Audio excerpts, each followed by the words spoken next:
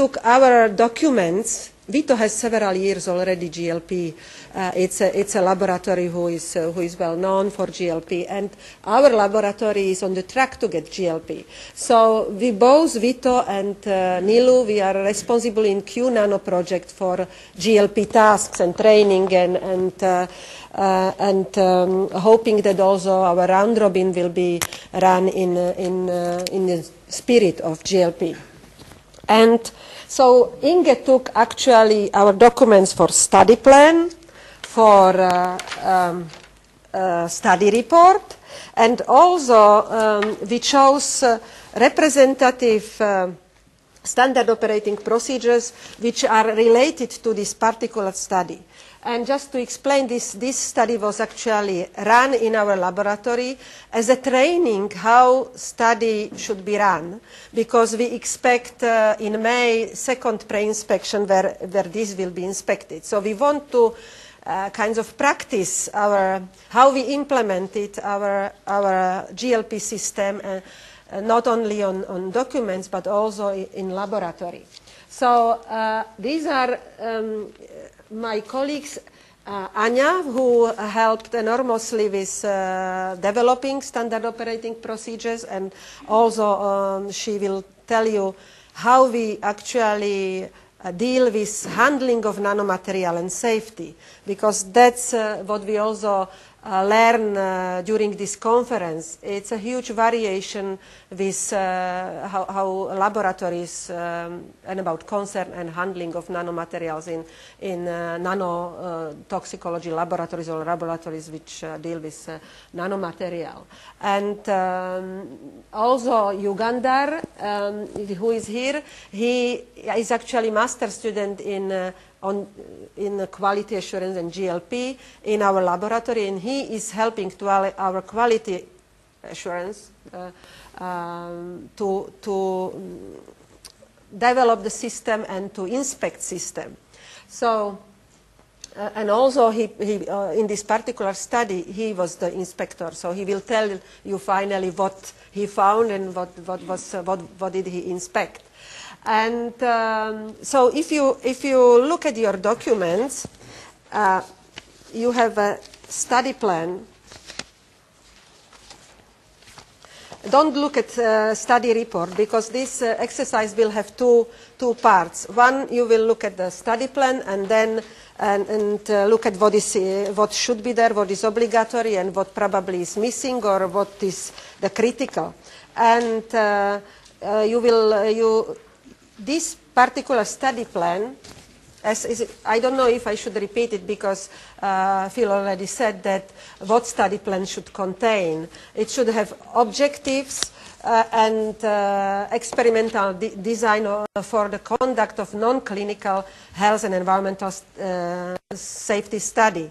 And uh, the, the adhering to GLP principle, the goal is to enable to full reconstruction of any study. So this study could be repeated with, of course, by trained personnel or trained person. And as, uh, as it was already said, the important person is study director, uh, QA, and also study personnel who are performing study. So um, um, each study should have uh, identification, so you can look at it uh, according to study, uh, study plan. Uh, study should be uh, conducted and all data should be recorded directly, promptly, accurately, legibly by the individual entry of the data. And uh, any change of data uh, shouldn't obscure the previous entry and uh, so all, all changes should be indicated and signed and dated. So it should be clear track what is going on. As uh, we had the example with dead animals, so these kinds of things sh shouldn't happen. So these are uh, the major points or major things uh, of content of uh, the study. Identification, descriptive title, nature and purpose, so it should be clear what, is, uh, what will be studied, uh, identification of test substance and, and the reference substance uh, to be used, and also information concerning sponsor, test facilities. Test facilities test facility is laboratory. You, you, know, we, we also had to learn this uh, terminology, uh, study director, test facility, and, and uh, you, you, know, this, this uh, but uh, now it is quite, uh, quite clear in, in, in, the laboratory. So it should have dates, as it was, said, it was said, and you can, you can look at the study plan. It should have clear description of the method, reference to OECD guideline, if there is any, and uh, justification why we selected this test system and characterization of test system. And also lots of information about, if, if, if available, about the, about the test substance, identification and registration, safety precautions, preparation of test solutions, reference substances, identification, positive and negative control, and uh, preparation of control solutions. So you can, you will have a look to the to this uh, uh, study plan and uh, and check if all is there and and also uh, if the method and condition of exposures, doses are there. Uh, and how it is, if it's recording um, um, described, and uh, that should have a study distribution plans, study plan distribution, quality assurance, information, and references. So we have now this, simple, we chose the simple study also for our training just to be able to, to, to run it, uh, not, not uh, to run complicated study from start. So um, as example, it is a silica nanoparticles tested in in vitro test uh, uh, method or by in vitro test method, uh, simple cytotoxicity test for plating efficiency. And uh, we followed study plan, uh, the, we, we, followed um, plating efficiency um, standard operating procedure. And also you can see two additional, uh, two additional kinds of materials. And one is uh, actually uh, form, study operating procedure form, where we actually have a template.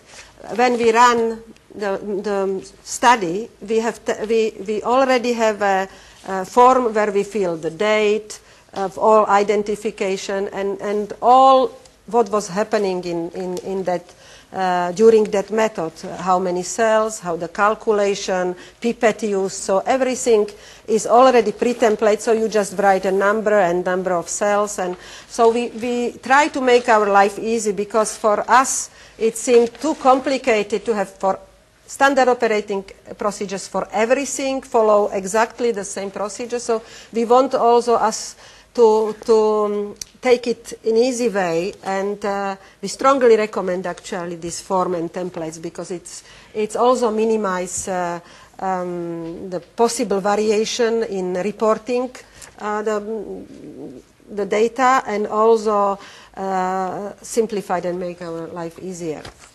So uh, you could also see product technical sheet and uh, there is one mistake here that uh, study plan is for 25 nanomet uh, size and, and uh, um, product technical sheet is for 50 nanometers, but uh, uh, we have correct thing in our laboratory.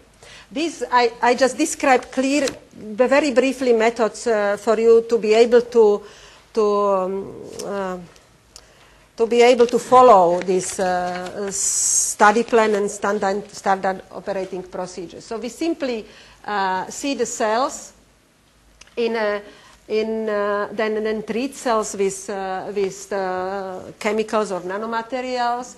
And then uh, after the treatment, we, we trypsinize them and inoculate them in very small inocul inoculum, like 100 cells or 200 cells. And after a certain period, each, each uh, viable colony, may, uh, each, each viable cell makes a colony.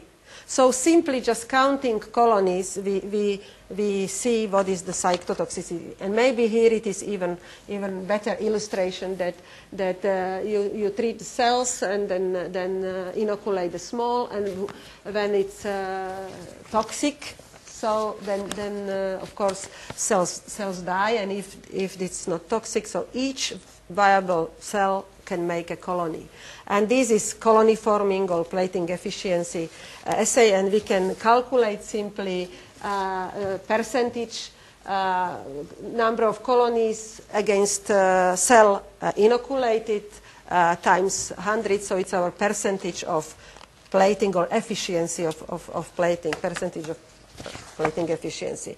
And we can uh, calculate uh, the uh, uh, IC50, so um, the concentration which, uh, which uh, induces uh, 50, uh, 50% of, of death.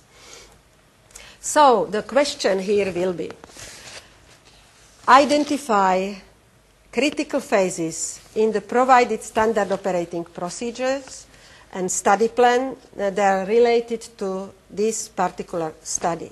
So I don't know how we, how we can uh, run, run this. We probably have uh, half an hour you can, you can read and, and, uh, and check everything, and we are here to help if you don't understand something. groups? Do you want to split them into groups, or do you want? Yes, I was thinking about, uh, there are 30 of them, roughly, so five groups for six. Five of six, yes, fine Yeah. me, yeah. So if you could make a, mm, five, uh, yeah. Five huddles of six. m- maybe even to, to go with all your documents somewhere to sit for, for uh, So upstairs. uh, upstairs for half an hour because then we will have lunch and after lunch we come and uh, we can uh, write or you can, you can make some points what is really critical phase. But, but think of it from the point of view of this uh, particular method, this particular study, but also from the point of view of nanomaterial or nanotoxicology. So what is really critical for one, this? one thing I was going to say that has been my experience when doing workshops like this is that people from the same organisation tend to sit together. Don't do that. And I don't want that, so what I'm going to do is I'm going to split you up. That way you get to talk to somebody else and share their experiences, which is half the fun.